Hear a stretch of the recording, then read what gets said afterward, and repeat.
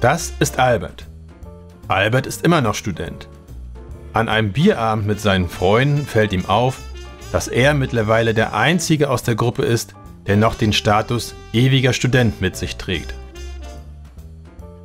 Am nächsten Morgen überlegt Albert, welcher Beruf etwas für ihn wäre. Für einen handwerklichen Beruf ist er leider zu tollpatschig. Für einen medizinischen Beruf scheint er auch nicht geeignet, denn Albert kann kein Blut sehen.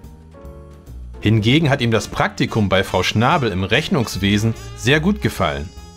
Insgeheim möchte er jedoch schon seit langem Wirtschaftsprüfer werden. Wie sein Freund Klaus Peter. Aber wie wird man Wirtschaftsprüfer? Albert findet heraus, dass der Weg zum Wirtschaftsprüfer mittlerweile durch viele Sonderregelungen geprägt ist. Der typische Weg zum Wirtschaftsprüfer stellt sich jedoch wie folgt dar. Zunächst müsste Albert sein Hochschulstudium erfolgreich beenden. Ist diese erste Hürde genommen, müsste er, zum Beispiel als Prüfungsassistent, eine mehrjährige Tätigkeit in der Wirtschaftsprüfung nachweisen. Das wäre die zweite Hürde. Erst dann kann Albert einen Antrag auf Zulassung zum Wirtschaftsprüferexamen stellen, der schriftlich an die zuständige Stelle der Wirtschaftsprüferkammer, kurz WPK, zu richten ist. Wird Albert zum WP-Examen zugelassen, muss er mehrere Klausuren sowie eine mündliche Prüfung bestehen. Der Prüfungsstoff umfasst schließlich vier Prüfungsgebiete. Wirtschaftliches Prüfungswesen, Unternehmensbewertung und Berufsrecht, angewandte BWL und VWL, Wirtschaftsrecht sowie Steuerrecht. Ein Blick in die Statistiken zeigt hohe Durchfallquoten. Albert wird klar, dass es sich hier um die höchste Hürde handelt. Er kommt ins Schwitzen und ruft verzweifelt seinen Freund Klaus Peter an. Der versucht ihn zu beruhigen. Albert, ja, es ist schwer. Es macht aber auch deutlich, welche Anforderungen an uns Wirtschaftsprüfer gestellt werden und welche Verantwortung wir haben. Aber selbst ich habe es ja geschafft.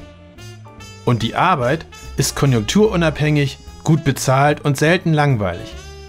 Man hat zudem mit interessanten Leuten und Fragestellungen zu tun. Denn ein Wirtschaftsprüfer ist als Experte des Handels- und Steuerrechts äußerst gefragt. Erst nach dem erfolgreichen Examen wird man zum Wirtschaftsprüfer bestellt. Hierbei ist ein Berufseid abzulegen. Eine Bestellung kann allerdings versagt werden, wenn zum Beispiel eine strafrechtliche Verurteilung vorliegt, die ein Berufsverbot rechtfertigen würde. Albert resümiert. Es wird kein Kindergeburtstag. Aber ich werde es versuchen. Sein Studium will er zeitnah beenden. Ihm fehlen dann also noch die Praxisjahre und das WP-Examen. Dann will er sich bestellen lassen. Es bleibt die Hoffnung, dass der Berufsstand in der Zwischenzeit noch die eine oder andere Erleichterung im Hinblick auf das WP-Examen beschließt, ohne dass sich negative Auswirkungen auf die Qualität der volkswirtschaftlich wichtigen Dienstleistung Jahresabschlussprüfung ergeben.